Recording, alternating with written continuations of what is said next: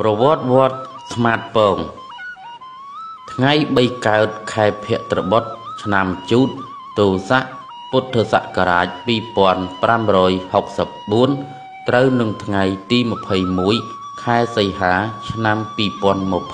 2020វត្តស្មាតពងស្ថិតនៅក្នុងភូមិត្រពាំងត្បែងឃុំសំរោងលើស្រុកអង្គស្នួលខេត្តកណ្ដាល មានព្រំប្រទល់ខាងកើតជាប់ភូមិបឹងខាងលិចជាប់ភូមិត្រពាំងត្បែងខាងជើងជាប់ដីប្រជាជន ខាងត្បូងជាប់ដីប្រជាជន មានចម្ងាយប្រមាណ45គីឡូម៉ែត្រពីទីរួមខេត្តកណ្ដាលទីអារាមនេះឈ្មោះដើមហៅវត្តថ្មាតពង ត្រូវបានកសាងឡើង តាំងពីឆ្នាំ1706ជាវត្តមហានិកាយដោយព្រះដេចគុណព្រះនាមពេញ និងពុទ្ធបរិស័ទនាំគ្នាគ្នាកសាងសាលាបុណ្យមួយខ្នង អំពីឈើប្រក់ស្លឹក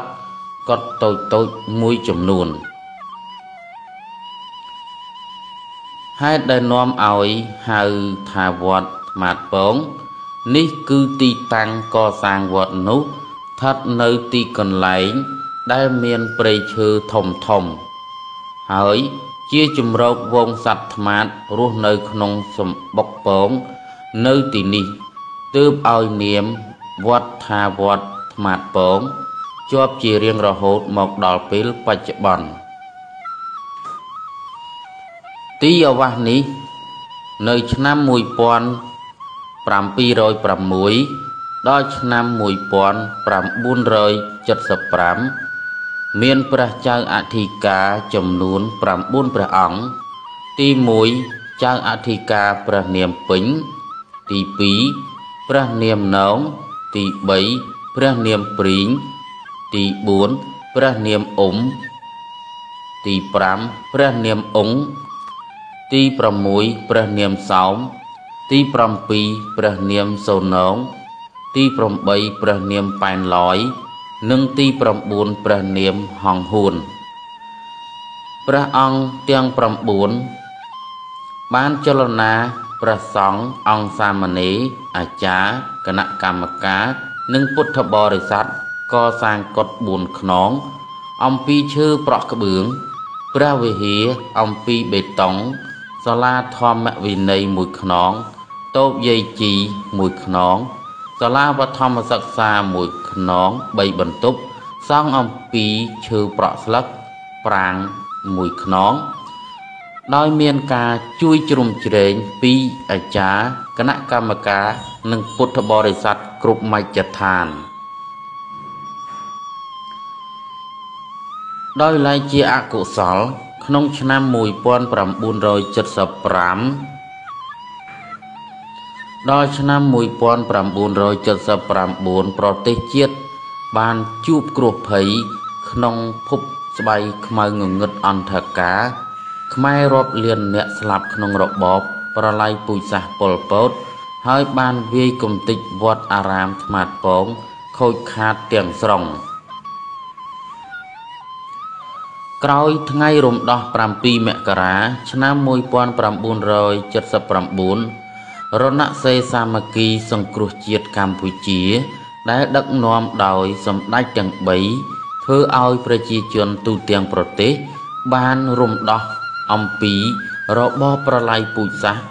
អ្វីអ្វីត្រូវចាប់ផ្ដើមមានជីវិតឡើងវិញ ពិសេសវិស័យព្រះពុទ្ធសាសនាត្រូវបានរដ្ឋាភិបាលដាក់ចូលជាសាសនារបស់រដ្ឋនៃព្រះរាជាណាចក្រកម្ពុជា លុះឆ្នាំ1908ដល់ឆ្នាំ1909ព្រះដេចគុណក្រូចញឹមបានបន្តការគ្រប់គ្រងដឹកនាំកសាងព្រះវិហារសាលាបុណ្យកុដិមួយខ្នងសាលាបឋមសិក្សាមួយខ្នង3បន្ទប់សំណង់ទាំងនេះធ្វើអំពីកូនឈើប្រក់ស្លឹកសាលាបឋមសិក្សាមួយខ្នង3បន្ទប់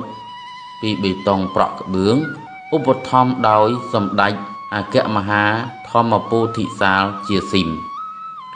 កសាងសាលាបុណ្យកុដិនិងកសាងព្រះវិហារឡើងវិញអំពីបេតុងឆ្នាំ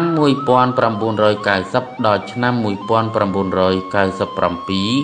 ព្រះចៅអធិការព្រះនាមទឹកហិនដឹកនាំកសាងសាលាធម្មសភាមួយខ្នង សង់រោងបាយមួយខ្នង ឆ្នាំ1997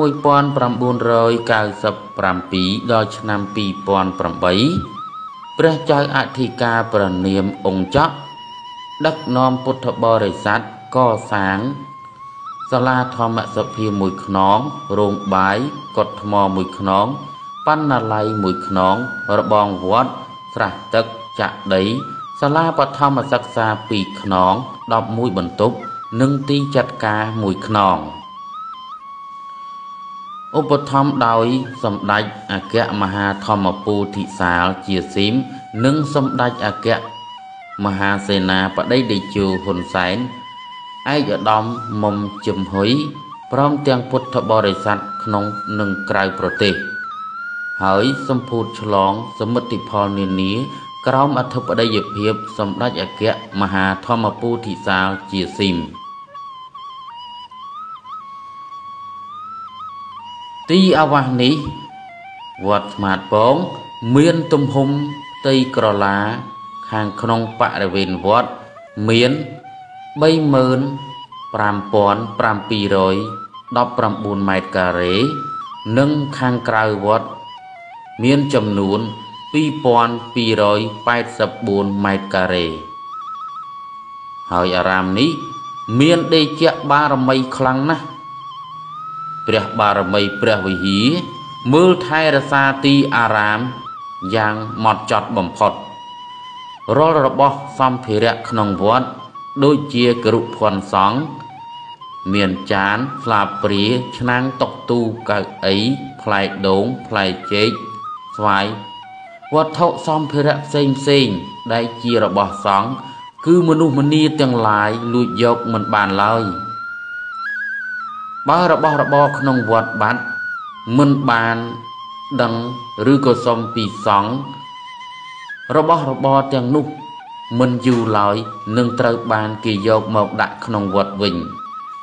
ព្រោះព្រះបារមីធ្វើទុកបុកម្នេញបុគ្គលនោះ ព្រះបារមី តាមកាច់បុគ្គលនោះយ៉ាងប្រកាច់ប្រកិន